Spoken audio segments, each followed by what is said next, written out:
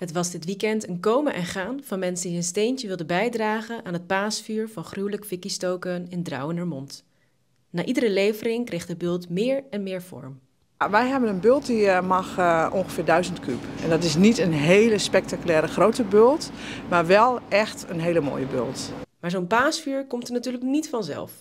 Het toverwoord voor de onderneming is simpel. Creatief zijn.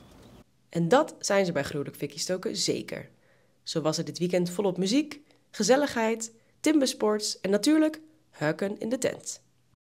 Het is een tentfeest uh, plus, zo noemen wij dat. En een beetje een voorproefje op uh, Boerenrock.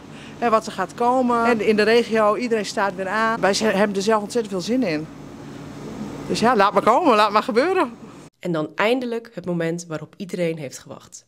Het paasvuur mag worden aangestoken. 3,